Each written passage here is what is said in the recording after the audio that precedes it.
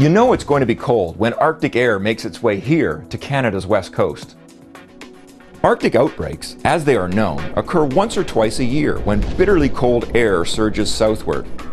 When the Arctic air gets deep enough over the interior, it spreads westward through the mountain passes, eventually reaching sea level via the coastal inlets and valleys.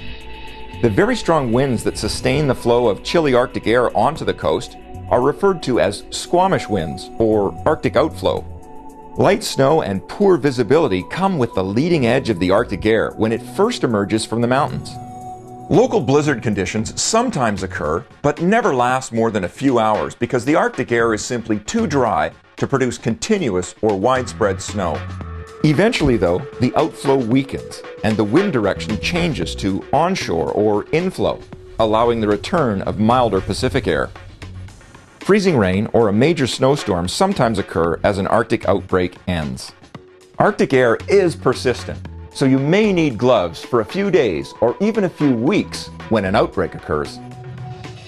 For more information about Canada's weather, visit our website at weatheroffice.gc.ca.